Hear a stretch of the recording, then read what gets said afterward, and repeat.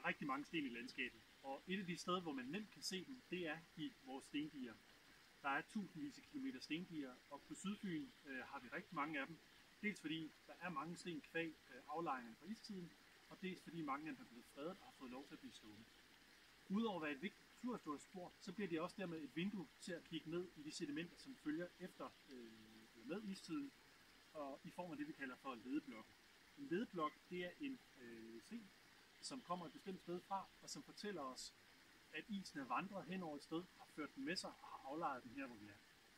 Og øh, når vi kigger på diget her, så vil man kunne se, at vi har forskellige afarter af granit og gnejs. Vi har rød granit her, vi har grå granit her, vi har en øh, gnejs hernede. Øh, den grå granit kommer fra øh, Norge og Sverige, og den røde granit kommer fra Sverige. Så her der ser vi et lille indblik i, øh, at det er der, øh, er kommet strømmende fra, som passer med, hvad vi, hvad vi i øvrigt ved.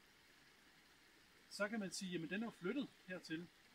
Det gode ved sådan en sten her, det er, at den flytter man ikke frivilligt ret langt. Øh, så stendierne er en god indikator for, at det er lokale sten, som er flyttet hertil.